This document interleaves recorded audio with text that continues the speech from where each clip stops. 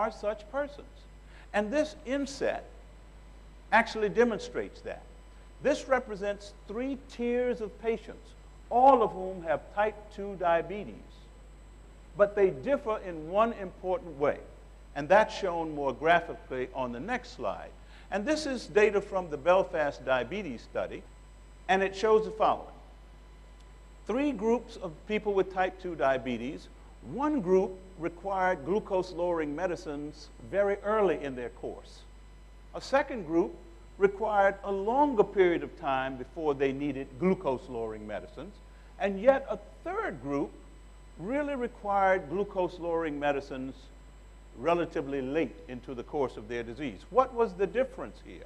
It was not in their difference in, uh, uh, because of a difference in insulin resistance. Their insulin sensitivity did not change from one group to the other. The most striking difference in these three groups had to do with their rates of beta cell loss. So, what that tells us is that we don't often have a way clinically of distinguishing which patient that walks in the, in the clinic is in this group versus in this group. In fact, clinically, the only way we can really tell is when they do require glucose-lowering medicines, is to note when, when do they require the onset of medication and what is their response to medication. If their response shows evidence of a rapid loss of response over short periods of time, they are not likely to be in this group and not likely to be in that group. These are probably people who are in this rapid loss of beta cell function. Okay? Now, this is one of the arguments why early initiation of insulin makes good clinical sense. I'm not altogether sure that this was appreciated at the time the consensus panel made its recommendation, but it, it, it, it was a good result in any case. Because here is now data from the Chinese in this case that showed that before therapy was introduced in this group of type 2 patients, there was essentially no measurable beta cell function. But then they were treated with insulin by continuous infusion, multiple injections, or they were treated with multiple oral agents. And after therapy, you can see that they had some restoration of their beta cell function on all of these modalities of therapy, the most impressive being after insulin treatment. One year later, what you find is that there is a statistically significant difference in the persistent beta cell function in the insulin-treated group versus the oral agent-treated group. Clearly, some ability to regenerate or restore uh, beta cell uh, function. So we are striving to achieve better control of our patients with the tools that we have, but do these algorithms help us, okay, to, to make better treatment decisions? I mean, obviously, they're certainly proliferating. One of the things that's become clear, and this is from data uh, supplied by Ralph DeFronzo over a decade ago, and what he showed was this, that there were people who were, were on monotherapy, whether they were on, on uh, sulfonylurea uh, uh, or uh, otherwise, and when they were not in control, and you switch them from one monotherapy to another monotherapy, to metformin, for example, what happened? Well, largely nothing, because the initial period represented a loss of control, even from the glyburide. And with metformin monotherapy, there was no further improvement. However, when you added the metformin onto the glyburide, you remember these data, now you saw evidence of a complementary effect. And so the argument for combination therapy was a compelling one and remains a compelling one. And it now begins to make sense that what we are challenged to do is to achieve early, comprehensive, intensive control to benefit from that legacy effect, as well as to make sure that if there is a window of opportunity to restore or preserve beta cell function, that's when we can take advantage of it. And so now the paradigm shifts in terms of what we are trying to do therapeutically from the treat to failure approach, which basically is captured here. We get patients into lifestyle change, and then they get better, and then they deteriorate. By the time we see evidence of significant deterioration, we start advancing therapy with one drug. And then we slowly up titrate that monotherapy. But basically, it's a ping pong around poor control. What we really need to do is to change the paradigm completely. Early combination therapy is really the way we're trying to get people uh, to go. And that means uh, by advancing therapy early and often as necessary to keep, not only to get them to goal, but to keep them at goal.Ose are the, those are the targets that we are trying to achieve. Now, specifically, the guidelines do the following. ADA says we should initiate medication therapy around the time of diagnosis. Let's not waste a lot of time here. Reinforce lifestyle changes, adjust the therapy when they exceed 7% A1C, and they're recommending that the GLP-1 receptor agonist, the, the incretin-based form of therapy, uh, as secondary uh, therapy uh, when weight is a, uh, a concern. Now, ACE says early initiation of therapy is the right way to go. Early combination with complementary mechanisms, things that clearly synergize mechanistically, is the way we need to think. With frequent adjustments, don't wait a long time between adjusting therapy. Metformin remains the cornerstone. One of the big differences between ADA and ACE is that ADA sort of cherry picked the drugs that they included in the algorithm. They didn't include the DPP4s, they didn't include a variety of other approved agents because they were less well validated. And there's a lot of argument about what exactly that means. Not everybody clearly understood. ACE also agreed that incretin agents are increasingly preferred as secondary agents because they do have positive profiles in terms of weight and hypoglycemia. Now, the major conclusions across all of these algorithms are as follows. Multidisciplinary care should be initiated at the time of diagnosis and kept throughout. Metformin is a cornerstone. The drugs that a person gets should be matched to their individual needs. No one size fits all. And we've seen evidence of the heterogeneity in diabetes by just those Belfast diet patients. There are frequent medication adjustments required to avoid treatment inertia. That's on us as providers. And then to use all of the available treatments when required to achieve goals, including insulin, so that we can achieve the maximum amount of synergy. Now, when we think specifically about the secretagogues, the sulfonylureas, there's the upside and then there's the downside. And where is the balance in 2011? Well, it becomes clear that there's less durability of effectiveness. They show no ability based on the, the, uh, uh, the, the, studies that have been done for long-term preservation effects on beta cell uh, uh function. And unfortunately, they do not predictably behave in a glucose-dependent fashion. In other words, there's not a, a, a, a, glucose dependency in terms of the amount of insulin released upon administration of a, of a secretagogue um, um, based on the ambient glucose level. But they do have the major advantage of affordability and wide availability. And they have very strong glucose lowering effects. And as I mentioned, the ADA-EASD algorithm gives very strong support to early sulfonylurea use, especially agents glimepiride and glipizide, which, if you look carefully at the studies that have been done, suggest that there may be some differences between these agents in terms of their pancreatic as well as their extrapancreatic effects and uh, and chlorpropamide. Okay? But there's still more, more information to be gleaned.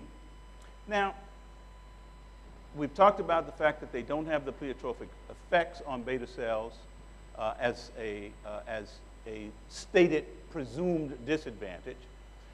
When people start looking at these incretin-based therapies, it's really animal studies that have shown evidence of proliferation and preservation.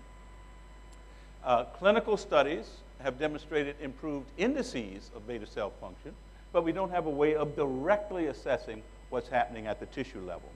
And so a lot of this kind of effect remains to be more definitively established.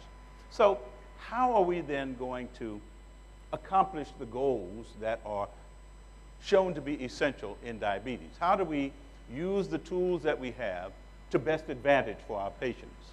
And what are the barriers for this? What are the new directions that we have to take to improve outcomes? Well, one thing is very clear as we look at those staggering numbers that we saw in the epidemiology data that, uh, that, Dr. Reese showed, is that this is a growing disease and it is exploding in some of the uh, areas of the world that are least able to support it. So clearly, we're going to need agents like sulfonylureas to remain in our arsenal just to have the certainty of a known glucose lowering effect and affordability. These are practical, real concerns. And this will be especially important in those patients who are in that group who have the slower rate of loss of beta cell function. And clinically, how do we identify them? Two things, essentially. The amount of time be between when they have their disease diagnosed and when they appear to require glucose-lowering medicines, and when they're on medication, what is their pattern of response? So, the considerations for sulfonylurea use in 2011, glimepiride and glipizide have been recommended over glyburide and chloropropamide. There's a record of synergy with other agents. We have to do careful monitoring of the responses to treatment and avoid clinical inertia. And of course, we've had more than 60 years of continued use and a lot of clinician confidence in sulfonylureas, and this is not easily dismissed. And so I, for one, do not predict that there's going to be uh, any disappearance of the sulfonylureas anytime soon. And given the pressures of healthcare costs, I think we have additional reassurance of their continued use. So in summary, it's clear that we need to make sure that we focus on earlier diagnosis. And why do I now introduce that? Because you can't treat what you don't know. And there's no way to take advantage of the legacy effect if we don't achieve early intensive control. Well, early control can't be achieved if early diagnosis is not achieved. We need to focus on, on intensive interventions with multiple drugs to address multiple mechanisms, treat to goal, not to failure. Sulfonylureas will continue to play an important role despite the um, uh, often stated disadvantage. The pattern of response to therapy can assist us in, most, uh, uh, in the most appropriate use of sulfonylureas and individualization of therapy. And there's going to be an increased use of agents that avoid hypos and weight gain, I think, simply as we uh, progress in our uh, evolution of therapies. Clinician comfort, health costs, and known efficacy will continue, in my view, to compel a role for the sulfonylureas. And so, our challenge, I think, is to choose well and to use wisely. And I think those are the best ways of doing this after all. Thank you very much for your. Um, diabetes in the West Indies and its complications by Dr. Uh, Carlisle Goddard. Um, he is a lecturer and faculty of medical sciences at the University of the West Indies, Cave Hill, Barbados, and he's also CEO of the Barbados Diabetes Foundation. Um, please uh, join me in welcoming Dr. Carlisle Goddard. This afternoon, I want to bring to your attention the topic diabetes in the West Indies. And we want to look at it at a, in a non-traditional way. And I hope you enjoy the ride with me. So we can start with a little bit of West Indian history. The Caribbean, as you know, is divided into four main regions. The Bahamas, the Greater Antilles, the Lesser Antilles, which is the eastern chain of islands and group of islands north of the Venezuelan coast, and the islands of Trinidad, Tobago, and Barbados.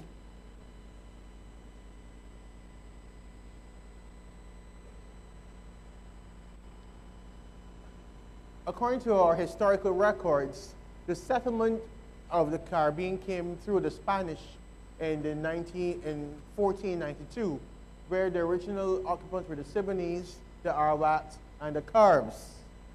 During the early Spanish conquest, um, these persons were decimated through disease brought by the Spaniards, warfare, and forced labor.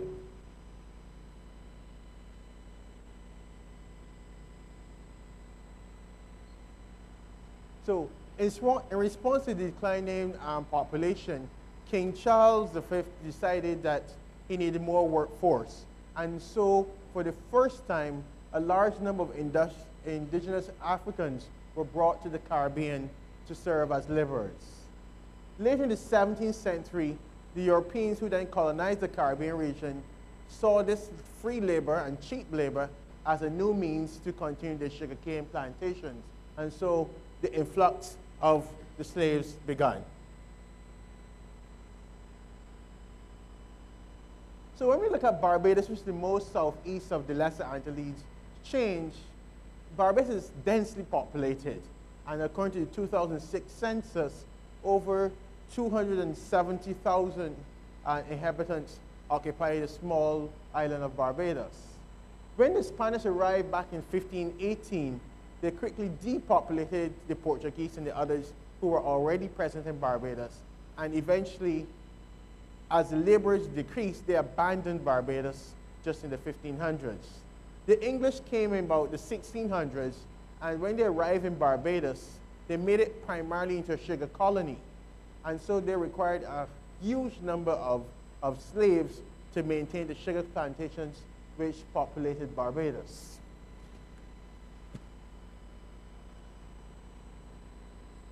When we look at Jamaica, which is on the other side of the Caribbean chain, we see a larger territory which now hosts about 3 million people. And Jamaica is actually the least dense populated Caribbean island in the Greater Antilles. And so again, in the history, in the 1509 to 1655, the Spanish initially uh, controlled Jamaica and used it as a great transit point of slave trade to the other islands until about the 1655 when the British took over the island by force and eventually Jamaica was ceded to the British back in 1670. Between 1655 and 1807, Jamaica was used as a point to transport slaves to the other islands in the, in the Greater Antilles and the Lesser Antilles. And so a tremendous amount of slaves passed through Jamaica. Now, this is very interesting in the sense that when we look at the makeup of the Caribbean territories,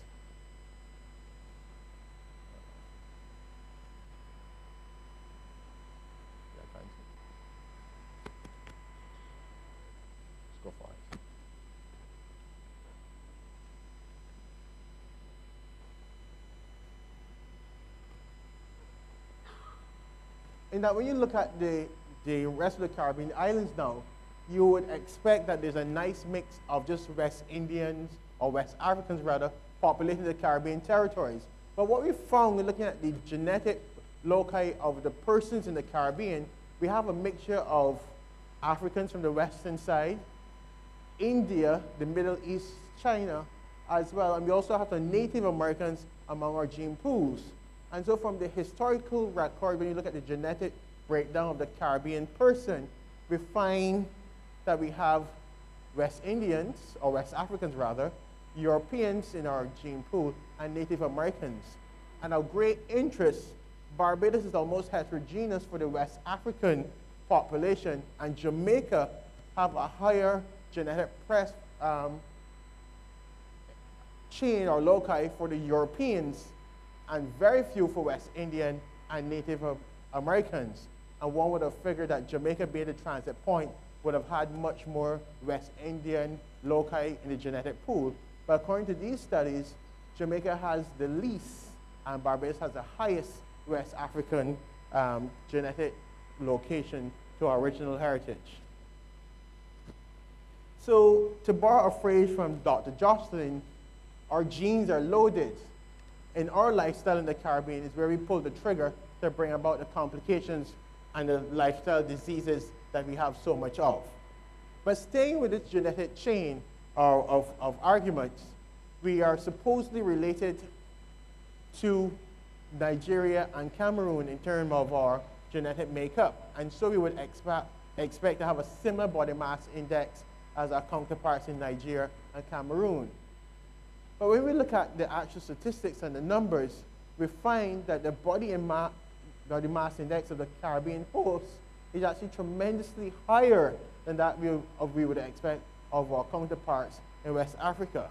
So clearly there's a difference in translation from our genes being initially beginning in West Africa to what we currently now exist here in the West Indies. Similarly for diabetes, we would expect that the body mass index will be similar because we come from the same pool if we're genetically one. And when we come look at this chart, we see that we have the West African counterparts, both male and female, significantly lighter in weight compared to us here in the Caribbean. But still, for the Caribbean men, we're nowhere near the mass of the European um, men or persons from the USA. Unfortunately for our West Indian women, our West Indian women, our West Indian women continue to have a significant body mass index, which put them at a high risk of all the lifestyle diseases such as diabetes and hypertension. But we have done very well in the CARIC countries. And so we've reduced the other lifestyle diseases such as road accidents. We've done a lot better in um, preventing strokes and cardiovascular diseases. As you can see from the chart, there's a decline in the cardiovascular diseases. Unfortunately, our impact in diabetes remains a challenge. And so we need to find a different route of, of or different part of the pathway of addressing the problems with diabetes and hypertension. Because if we can stop smoking and we can drink one glass of alcohol